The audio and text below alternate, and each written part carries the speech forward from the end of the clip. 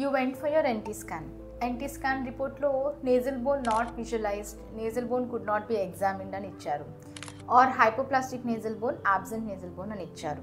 So నా first thing nasal bone not visualised could not be examined ఇలాంటి వస్తే మాత్రం please get a second opinion from a fetal medicine specialist make sure they reported nasal bone normal or nasal bone hypoplastic or absent అంతే. There is no other terminology now if there is surely nasal bone hypoplastic or absent అని వస్తే next step would be get an in confirmatory test అంటే బేబీకి లోపల chromosomal అబ్నమాలిటీస్ ఉన్నాయా లేదా అని confirmatory test ద్వారా తెలుసుకోండి.